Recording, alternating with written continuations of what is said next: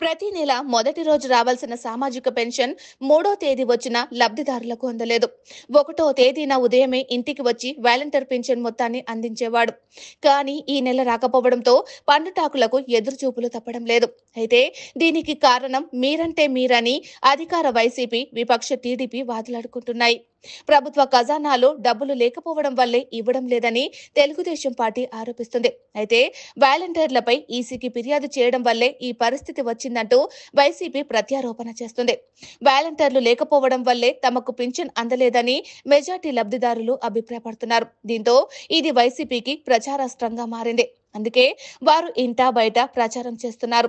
పింఛన్ల పంపిణీని అడ్డుకున్నది ముమ్మాటికి టీడీపీయేనని ఆరోపిస్తున్నారు. సోషల్ మీడియాలో ట్రోల్ చేస్తున్నారు. మొన్నటి వరకు చంద్రబాబు జగన్ సంక్షేమ పథకాలను వ్యతిరేకించారు. ఉచిత పథకాలతో ఏపీ భవిష్యత్తును అంధకారంలో పెట్టారని ఆరోపణలు చేశారు. వాలంటీర్ వ్యవస్థపై కూడా దుమ్మెత్తిపోశారు.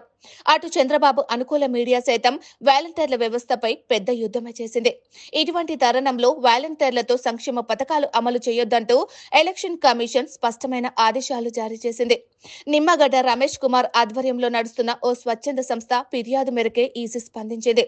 అయితే చంద్రబాబుకు నిమ్మగడ్డ రమేష్ కుమార్ సన్నిహితుడని చంద్రబాబు సూచన మేరకే నిమ్మగడ్డ రమేష్ ఎలక్షన్ కమిషన్కు ఫిర్యాదు చేశారని వైసీపీ ఆరోపిస్తుంది. ఈ ప్రచారం ప్రజల్లోకి బలంగా వెళ్తోంది. ఈ తరుణంలో అధికార వైసీపీ టీడీపీని టార్గెట్ చేసుకోవడాన్ని చంద్రబాబు గుర్తించారు. అందుకే హుటాహుటీన రాష్ట్ర ప్రభుత్వ ప్రధాన కార్యదర్శి వద్దకు టీడీపీ బృందాన్ని పంపించారు.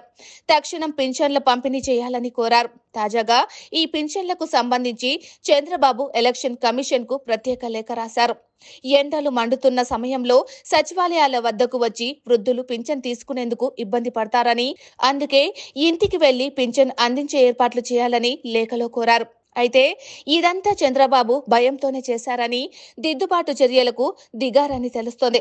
వాస్తవానికి ప్రభుత్వమే ఈ నెల మూడవ తేదీన పింఛన్ల పంపిణీ చేస్తామని ముందుగానే ప్రకటించింది.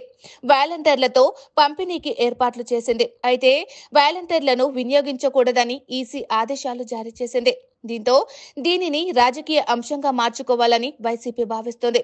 పింఛన్ల పంపిణీలో జాప్యానికి టీడీపీ కారణమని కార్నర్ చేసింది. దాని నుంచి బయటపడేందుకు చంద్రబాబు పడరాని పాటలు పడుతున్నారు. దిద్దుబాటు చర్యలు ఉపక్రమించారు.